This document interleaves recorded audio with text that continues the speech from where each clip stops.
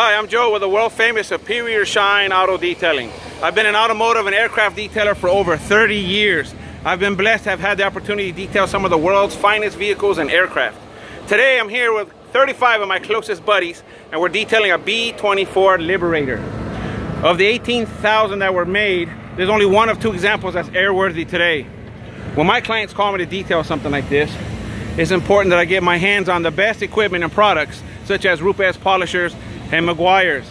And that's why I shop at AutoGeek. Log on to AutoGeek.com and you're gonna find out it's just a candy store of detail products for the enthusiast and professional alike.